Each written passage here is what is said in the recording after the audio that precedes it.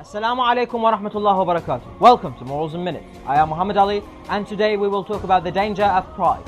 We face a problem which affects a lot of us today. You always hear the words, I can't do this job, I'm much better than this, or look at me, look at my status. This is common around the world and it is pride.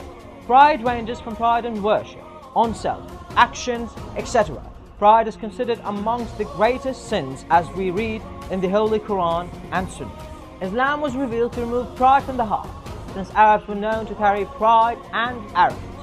Henceforth, Allah subhanahu wa ta'ala stated in the Holy Quran in several verses, such as in Al-Nahl, Indeed, He does not love the proud.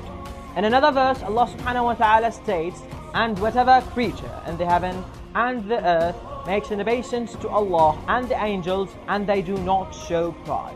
From this verse, we can picture an image that from all Allah's creations that worship Him, they do not do it proudly. For pride and superiority is for Allah only.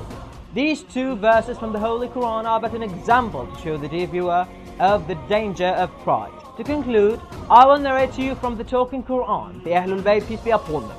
It has been narrated by Shaykh al-Kulaini in a reliable tradition on the authority of Hukam, who asked Imam Sadiq, peace be upon him, what is the lowest degree of apostasy? Imam, peace be upon him, said, Verily, kibr, pride is the lowest degree. In another narration narrated by Imam Baqir, peace be upon him, he said, Honor is God's robe, and pride is his mantle, and whomever wants to acquire it will be thrown into hell by God Almighty. Henceforth, we can see that pride leads to one's destruction.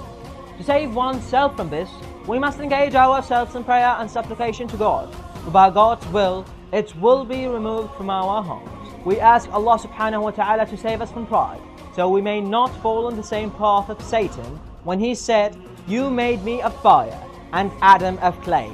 I am better. May Allah rid us all of the sin of pride and may we be amongst Muhammad and his holy progeny. Wassalamu alaikum wa rahmatullahi wa barakatuh.